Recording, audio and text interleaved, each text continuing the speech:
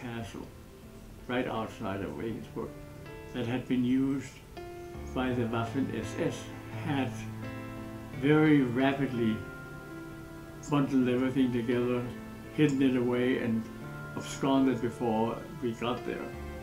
And the only person left up there was a woman who was a caretaker who wouldn't tell you anything whatsoever. She was about as close mouthed as you can be.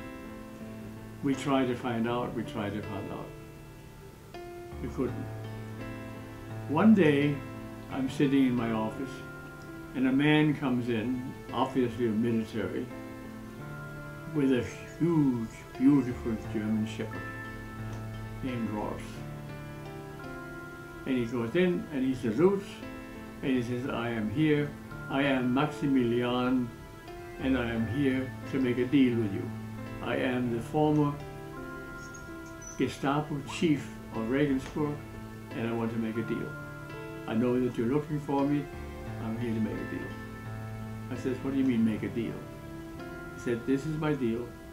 You put me up in luxury, give me whatever I want, and I will give you one mandatory arrestee every day. I know where they all are, I know who they are, I can do that, you can't. Every day you will get one person. Well, this is the kind of deal that you can't say no to. So Maximilian was put up in luxury. And every day he came and says he would find so and so and so and so in this address. And we, we had a arrest record, bar none. We were stars. Well, more will always have more. So we said, Max, we want to find out where the records of the Waffen SS, where they are, what happened to them. He said, I can't, that I don't, I cannot possibly do that. I said, okay, Max, you have 24 hours. From that, after that, our deal is off. He said, 24 hours. He said, yeah. That was it.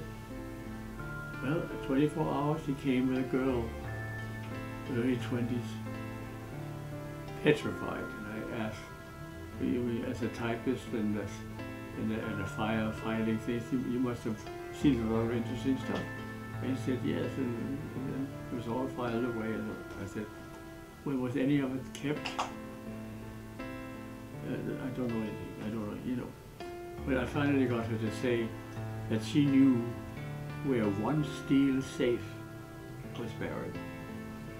And she showed us on the map exactly where that was. Wow, now we got it. And then we asked her, what's in it? She said, well, silk stockings, coffee, brocade from France, the loot that the camp commandant had brought back from his trips to Paris meant nothing to us whatsoever. Well, all is not lost. And I'm looking at Rolf, and I'm looking at Max, and this is what I did. I spent the time preparing, and the next morning I got together a detachment of Army engineers, a group of prisoners, German prisoners, guarded by MPs, Maximilian and Rolf, and got Mrs. Polka out. And we said, Mrs. Polka, this is your last chance. You tell us now where you know things are buried here. It's your last chance. We know you know, and if you do not tell us, you will have to pay the consequences. You see that dog? His name is Rolf. He is Gestapo trained. He can nose out anything buried if it has been touched by human hand. It doesn't make any difference how deep he can find it. And the woman looks at the dog. She knows this is impossible. And she says, okay, let me show you then. I said, yes, okay, fine. We will do that. So, the next thing is we get Rolf on the leash and we start towards a little forest. There's a large grassy area and then a little forest. And we go out to the grassy area and I tell to Max, I said, okay, tell Rolf to seek, seek, search. And here is this whole, whole column and the dog starts sniffing, sniffing, going around, going around. All of a sudden he gets, oh, oh, he finds something and he goes right into the, towards the forest. Everybody following him, including the woman. And he gets into a little area and he starts scratching.